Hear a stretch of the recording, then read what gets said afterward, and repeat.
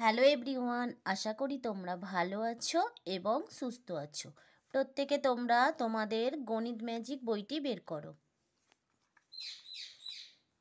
বারো পাতা খোলো তোমরা, খুলেছ? দেখো, আগের দিন আমাদের পাঁচ পর্যন্ত অঙ্ক হয়ে গেছে। আজকে ছয়ের দাগ থেকে শুরু হবে।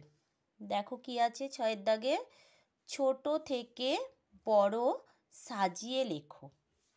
চলো আমরা খাতায় অঙ্কটা করব। ছয়ের দাগের ক। খাতায় দেখো তোমরা, আমি এখানে টুকে রেখেছি। ছোট থেকে বড় সাজিয়ে লেখো। দেখো প্রথমে কত আছে? একশো পঁচিশ আছে। তারপর আছে একশো চৌদ্দ সরি তিনশো চোদ্দ। তারপর আছে দুশো ষোলো। আর শেষেরটা আছে একশো কুড়ি। দেখো এগুলি সব তিন অঙ্কের সংখ্যা হ্যাঁ? আমাদের সুবিধার জন্য আগে মাথায় একক দশক শতক বসিয়ে নেব। একক দশক শতক বসিয়ে নিয়েছি। প্রত্যেকটা অঙ্করই বসিয়ে নেব। একক দশক শতক, একক দশক শতক, একক দশক শতক। দেখো, প্রত্যেকটা অঙ্কই আমি একক দশক শতক বসিয়ে নিয়েছি। এবার আমরা দেখব প্রথমে শতকের ঘরে কত আছে। দেখো, শতকের ঘরে এখানে এক আছে, এখানে তিন আছে হ্যাঁ এটাই। শতকের ঘরে দুই আছে, এটাই আছে এক। তাহলে কোনটায় সবচেয়ে বেশি আছে?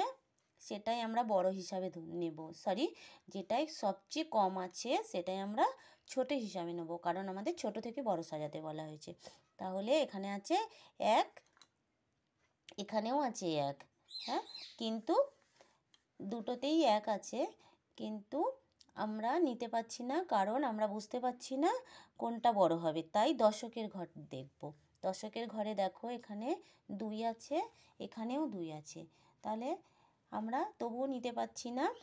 তাহলে আমরা শেষে কি দেখব? এককের ঘর দেখব। এককের ঘরে দেখো পাঁচ আছে, এখানে এককের ঘরে শূন্য আছে। তাহলে ছোট হিসাবে আমরা কাকে পেলাম? এটাকে পেলাম একশো কুড়ি। তাহলে একশো কুড়ি আমরা বসিয়ে দিলাম।